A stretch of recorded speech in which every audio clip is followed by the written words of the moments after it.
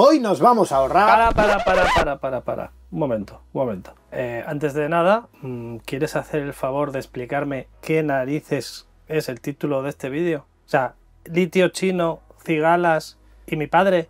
Pues sí, tal cual, pero vamos Carlos, tú ya deberías saber cómo es este canal. En este episodio vamos a hablar de baterías de litio baratas, de las chinas, y los vamos a poner a prueba, pero de una forma muy poco convencional. Ahí es donde intervienen las cigalas. Y para todo esto, pues que le hemos pedido ayuda a tu padre, con el que vamos a compartir una buena charla a flote.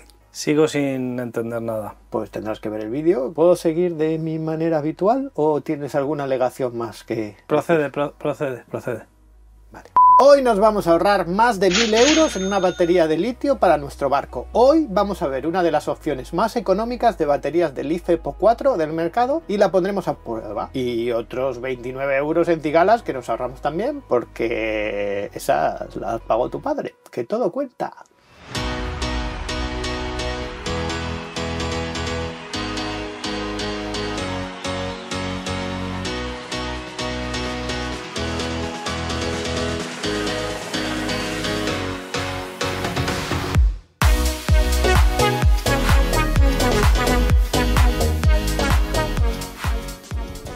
Saludos navegantes y bienvenidos a un nuevo episodio de The Low Cost Sailor. En el episodio de hoy cerramos el tema de la energía a bordo. Ya hablamos de las baterías de litio en el episodio 60, cuando introdujimos sus conceptos, su forma de instalación y tiramos la casa por la ventana y nos fuimos al tope de gama de baterías y accesorios. Un tanto impropio de nosotros. Hoy nos vamos al otro extremo, al litio chino, y vamos a probar e instalar una batería del IFE PO 4 de la marca Sanfou, súper económica, para ver las diferencias con nuestra Leontron tope de gama, con la que, a decir de verdad, es que estamos muy contentos. ¿Litio chino? O sea, ¿el litio chino de minas de China? ¿De China a China? ¿O viene el litio de otro lado? Y lo arman los chinos nada más.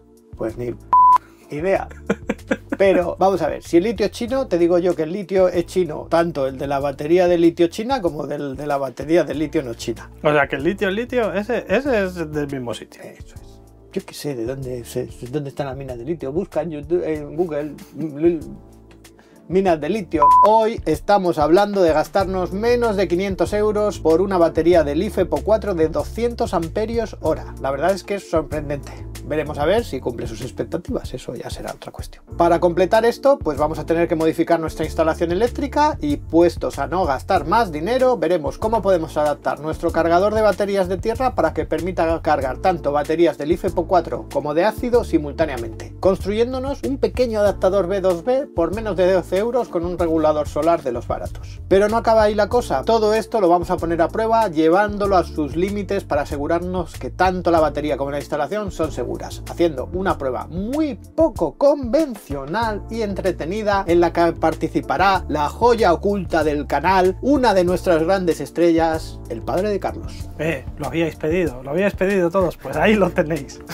Luego no vale devolverlo. Ala, ala, Cuando salga diciendo ah, pues vosotros lo queríais. El litio está por los suelos y no me refiero tirado por ahí. Bueno, en las minas de litio me imagino que el litio esté por los suelos literalmente. Pero es que el precio de las baterías del IFE PO 4 ha bajado muchísimo y ahora hay algunas oportunidades muy buenas de baterías a muy bajo precio. Me atrevería a decir que incluso por debajo del precio de las tradicionales baterías AGM. Pero con todas las ventajas de la tecnología IFE PO 4. Así que voy a aprovechar y jubilar la batería que uso exclusivamente para el inversor de 220. Voy a quitar mi batería AGM de 200 amperios hora y la voy a sustituir por una Sanfou de la misma capacidad en LIFE PO 4. ¿Y qué me voy a ahorrar? Pues en dinero poco. A la hora de la verdad, la batería de Sanfou sigue siendo más cara que la Ultracell AGM que ya tenía. Concretamente, la Ultracell cuesta 331 euros y la Sanfou 489. Pero eso, para lo que costaban las baterías del IFE PO 4, es poquísimo. Mi Leontron de 150 amperios hora costó más de 1.300 euros hace cosa de un año. Pero ya os contamos en nuestro episodio 60 que la tecnología LIFE PO 4 tiene muchas ventajas en capacidad real, ciclos de descarga profunda, velocidad de carga, tamaño y sobre todo peso. Porque por lo pronto me voy a quitar casi 40 kilos de encima, 24 kilos que pesa frente a los 61 de la GM y ya os digo que eso se nota y mucho. 40 kilos, te vas a quedar Claro. fino, fino. Va a estar Sí, tu mujer encantada. Ahí está, este chiste ya lo hicimos. Ya, pero siempre vale. Puesto a buscar una batería asequible del IFE PO 4 y que además nos pareciera fiable, nos decidimos por la marca Sanfou. Son chinos, pero mandan las baterías desde Alemania. Tienen baterías de 100 amperios hora por 240 150 euros o la de 200 amperios hora que vamos a instalar nosotros por unos 489 euros. Os dejamos en la descripción del vídeo y en el post de la web enlaces de compra tanto de Amazon como de su web oficial. De hecho, en su web oficial, si usáis nuestros links y el código de descuento Low Cost Sailor, os harán un 5% de descuento adicional sobre el precio de la batería. A nosotros la batería nos llegó muy rápido, unos 4 días, y enseguida nos decidimos a instalarla. Sus características principales, 12,5 voltios de tensión nominal, perfecta para reemplazar cualquier batería tradicional de 12 voltios, 200 amperios hora de capacidad, pero reales, es decir, que soporta descargas hasta prácticamente el 100% sin dañarla ni mermar su vida útil. Ya dijimos que esto es una de las ventajas del Leaf Epo 4, echarle 3.000 a 5.000 ciclos de vida, 100 amperios de descarga máxima continua, esto suele ser el mayor limitante de las baterías del Leaf Epo 4 frente a las de ácido, que tienen un límite de potencia más bajo, aunque 100 amperios de descarga continua nos permite alimentar de manera continua cualquier cosa de 1200 vatios de potencia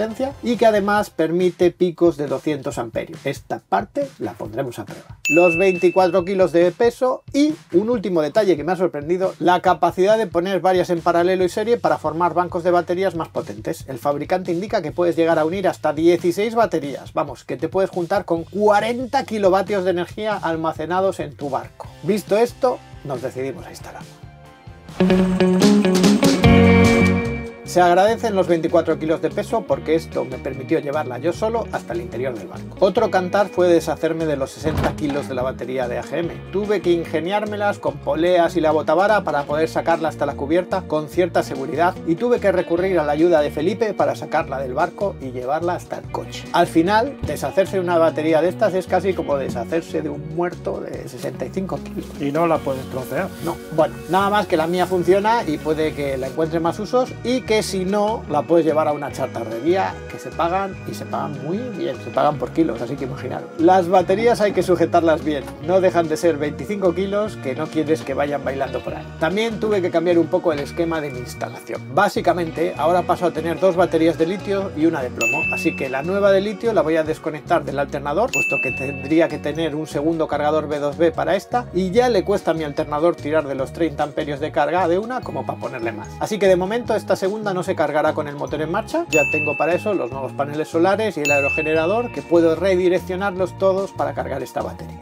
La batería de servicios y la del motor se seguirán cargando con el alternador gracias al B2B de Victron. Todos los cargadores solares ahora pasan a estar en modo LiFePO 4, pues todas las baterías que voy a cargar con ellos lo son, y puedo escoger cuál de las baterías cargar con unos selectores. En cuanto al cargador de tierra de tres salidas, pues solo puedo escoger un tipo de baterías para las tres salidas, así que les pondré en LiFePO 4 para asegurarme que salgo con las pilas cargadas a navegar. Y tendré que desconectar la del motor o comprar un módulo especial de Sterling para adaptar tetap. O tal vez no, porque a la hora de la verdad, para cargar una batería de plomo pequeñita como la de arranque, con sus necesidades de carga, podemos hacer un pequeño truco poco convencional. A la tercera salida del cargador voy a conectar un pequeño cargador solar PWM de los baratos, es muy importante que sea PWM y que sea de los baratos, porque estos no hacen gran cosa, pero justo lo que necesitamos. Con la salida del cargador de tierra vamos a alimentar la entrada de paneles solares de este regulador. El funcionamiento de estos reguladores es muy sencillo y a partir de lo que le metamos, la tarea del pequeño cargador solar será bajar ligeramente la tensión del cargador de tierra y adaptarla a los ciclos de carga de las baterías de plomo. Esto funciona y os va a mantener la batería de arranque cargada a sus niveles adecuados cuando estéis en tierra, pero ya os digo que es un método poco convencional y no nos hacemos responsables de lo que pueda suceder. De hecho, en vuestro cargador solar puede que veáis una advertencia muy gorda que pone que no lo hagáis. La forma más convencional sería el Chemistry Module de Sterling, en mi caso o un cargador separado pequeño para de arranque o un B2B para cargarla desde la de servicio, otro de estos de Victron. En cualquier caso, yo os digo que el truco del cargador solar funciona y funciona muy bien. Con la instalación ya finalizada, unas primeras pruebas y el uso de la cámara térmica de mi móvil con la instalación llevada a sus límites siempre ayuda a comprobar que todo está bien y que no hay ningún punto débil en la instalación. No sé cómo sobrevive la gente que no tiene cámara térmica en el móvil. Que alguien me lo explique aunque ahora toca hacer las pruebas de verdad y ver qué tan reales son esos 200 amperios hora y cómo funciona todo.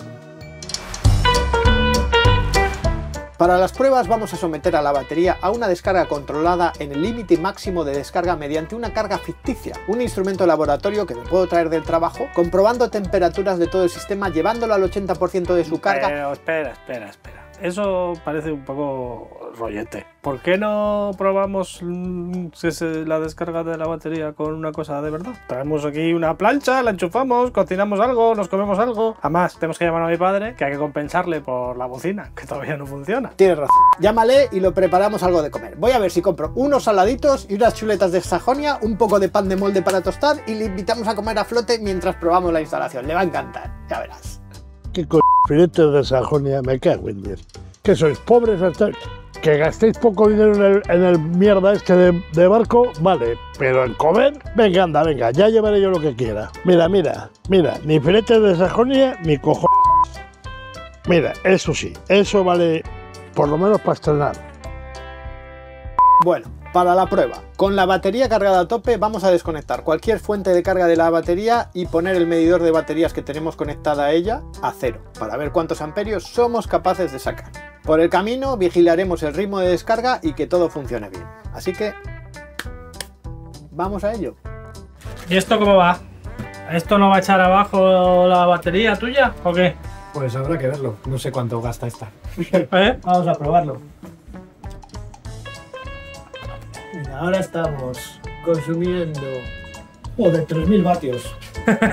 Pues sí, lo va a echar abajo. 3000 Igual lo tienes que poner más suave. No, esto es demasiado potente para aquí. Vamos a tener que acudir al plan B. Pues ha traído una buena. A ver, ¿te crees que va a haber traído mi padre aquí una plancha de mierda? Una low cost, a ver, no me jodas. La batería está diseñada para eh, proporcionar 1200 vatios en continua hasta 2400 puntualmente. Lo normal es que pongamos algo pues un poco menos tocho. Y si no, habrá que cocerlas. Yo cuando te he llamado podía haber comprado pan, podía haber... Y yo, cuando Ya me ha había llamado- delegado, al- lo delegué en él pensando, joder. Cuando me ha llamado a mí, Bueno, me, me vale, había venga. dicho, oye, trae pan. Pues traigo pan. Pero a ver, que esto además, esto es la cosa de la improvisación. Joder, con las improvisaciones, pero pasar hambre. Pasar Ya, hambre es improvisar demasiado. Tú no improvises tanto y danos de comer en condiciones. ¿Y esto cómo se hace? ¿Hay- ¿Hacemos algo con la, o simplemente la la- el aceite y la sal? Nada más. No la ¿La sal se echamos encima mientras se está haciendo? No, una vez que, que esté ya un poco hecha, se Va. echa encima. Oye, que tu padre a ti te enseñó a comer como Dios manda, ¿eh? Mira, No. tres, tres por viaje caben, incluso te diría que cuatro. A ver, abráse eso, a ver.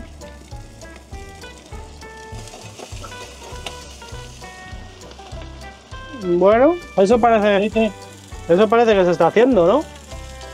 Pues ya hemos gastado 11 amperios hora.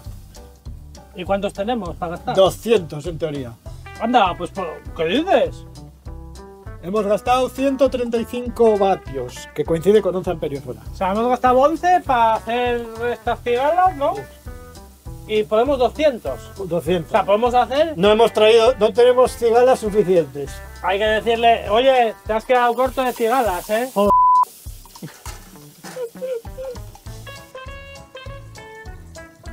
¡Ahí va!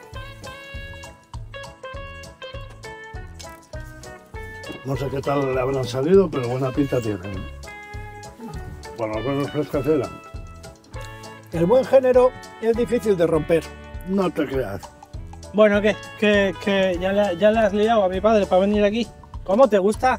¿Cómo quieres ahí las visitas, eh? Las visitas. ¿Cómo sabes que cuando, que cuando sale mi padre sube ahí la audiencia? Carlos, yo creo que después de las cigalas conseguiremos que pite la bocina. Bueno, no sé. Oye, ¿No crees que tener cocina a bordo Nada, nada. Se va uno al puntal. Llamas a Fidel. Le dices, Fidel, prepáranos unas cigalas, una buena paella y un tal. Llegas allí con todo puesto. Te lo llevan al barco si quieres. David, que uno está ya jubilado. joder, que la vida del jubilado es muy dura. ¿Cuántos años llevas tú teniendo barco? El jubilado 17. Jubilado de 17. Joder. Y barco desde el 96, me parece. Del 96, el trastolillo. ¿Y antes has tenido barco? Antes he tenido un bote de repos, el Yeya. En astillero de remos. Es muy vela, vela latina. Y pescabas con ese. Yo he pescado con todo. Pero pescar, ¿eh? El bote de remo Un bote de madera. le tenías ¿Le tenía mi- cuando no estabas traba- cuando estabas trabajando. No. Antes. Desde antes, de mucho antes. Lo digo porque trabajar fabricando hélices de barcos y tener un bote de remo. Amigo. Nosotros hacíamos aquí hélices de hasta 10 toneladas. Aquí se han montado muchas, pero casi todo de la exportación. Vamos a coger esta que está aquí al lado de una pequeña. No sé si te lo parece, pero está hasta mejor que, el file- que los filetes de Sajonia esto, ¿eh? No joder, ¿sí? Sí, ¿no? Mira, mira, David, mira. Gente mira. comiendo. Bueno, pues sí, ha salido una pieza. Hemos mejorado, ¿eh? El último vídeo que recuerdo yo que hicimos de comer, que estábamos tú y yo ahí abajo, yo creo que hemos Sí, mejorado, sí, ¿eh? Podemos compararlo, podemos compararlo. Hemos mejorado. Los chinos igual saben de litio, pero salen buenas las, las cigalas, ¿eh? Con la EcoPro del calzadillo puedo hacer yo esto. No vas a poder poner la plancha igual que aquí, pero sí le puedes poner una placa de inducción y una sartén de esas grandes y ahí cocinar.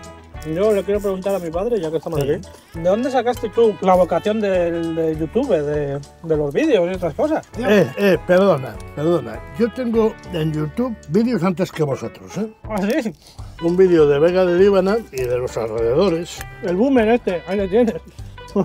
Haciendo vídeos de YouTube antes que tú y yo. Mucho antes que Y tú. mejores serían. Bueno, eso que está por descontado. Vamos a poner el vídeo de, tu vídeo de mi padre. Yo creo que nos podemos despedir. El que tenga las manos limpias que dé el botón. para. Bueno, las cigalas no han dado para apenas robarle 40 amperios hora a la batería, aún nos queda mucho por probar, así que siguiendo este ritmo de descarga de 80 amperios hora, más o menos unos 1000 vatios, vamos a terminar de descargarla con el calefactor. Ya hemos extraído 150 amperios hora de la batería, un 75% de su capacidad y la tensión parece indicar que queda un batería para rato. Recordar que la tensión significativa es la tensión cuando no tiene nada consumiendo y que esto se puede cotejar con tablas de carga, por ejemplo, o cosas así. La hemos estado descargando casi al límite durante más de 3 horas seguidas y la batería se ha calentado un poco, del orden de 50 grados. Pero todo muy controlado y dentro de los límites razonables para haberla sometido a este tipo de descarga. Todo parece haber ido muy bien. Ahora la cargaremos a 40 amperios hora, que es lo que da mi cargador y además es la velocidad de carga recomendada por el fabricante. Y a ese ritmo la verdad es que no se calienta lo más mínimo. Yo creo que las pruebas han sido un éxito y encima hemos comido cigalas. ¿Qué más se puede pedir? ¿Qué más se puede pedir? Pues más cigalas. Sí, y unas velas para el barco. Necesitamos un patrocinador de velas para el barco. Hacen falta unas velas. Bueno, pues estoy muy contento con mis baterías del IFEPO 4, la verdad. Las de Sanfou, el precio es incomparable con las de Viene un avión. Bueno, con la de Leontron encantadísimo, pero la de Sanfou hace su servicio, no tiene Bluetooth, no tiene alguna de esas cosas. Se nota alguna pequeña diferencia, por ejemplo, la de Sanfou tiene el límite de descarga siendo de 200 amperios hora en 100 amperios y sin embargo la de Leontron puede descargarse a 150 amperios. Pequeñas diferencias de calidad, pero la de verdad, la de Sanfou hace su servicio, es infinitamente más barata y es como un cambio que hace que las baterías del IFEPO 4 ya se conviertan en una alternativa real para los servicios en los barcos. Sigo pensando que no valen para arrancar un barco, no son baterías para el motor, son baterías para los servicios. Vamos, yo ya no compraría GM, me pasaría al IFEPO 4 seguro, en cualquiera de las soluciones. Vas a tener que hacer el chascarrillo de otra batería más. Porque vamos, Bueno. llevas una racha buena, ¿eh? El IFEPO 4, las baterías son una alternativa real, ahora tienen un precio que se pueden considerar, yo creo que es lo adecuado para poner en embarcaciones, autocaravanas y en todo este tipo de vehículos en los que buscas una autonomía con poco peso orientado a los servicios. Por lo demás, las cigalas buenísimas, me lo pasé muy bien ahí de charleta con tu padre, la verdad. ¿eh? Muchas gracias por vuestra atención navegantes, espero que os haya gustado el vídeo de hoy, si es así, por favor, darnos un like, suscribiros al canal, tenéis la campanita para recibir notificaciones, tenéis todos los enlaces a las baterías, el código de descuento y todo eso, tanto en la descripción del vídeo como en nuestra web www.delowcosailor.com. Nos podéis seguir en nuestras redes sociales, tanto en Instagram, en TikTok, en Twitter o como se llame ahora. Todo eso es donde publicamos pequeños fragmentos de los vídeos, vídeos más actuales y noticias relacionadas. En cualquier caso, nos vemos en un par de semanas en un nuevo vídeo de The Low Cost Sailor. ¿Hasta ahora despegan todos los aviones en este aeropuerto? O sea, es la hora feliz de los despegues. ¿Cómo queman combustible? Que no hay que quemar combustible. Paneles solares, aerogeneradores, baterías, otra batería más, otra batería más. Bueno, y ahora me voy que tengo que coger mi jet privado para irme a grabar una cosa en otro lado.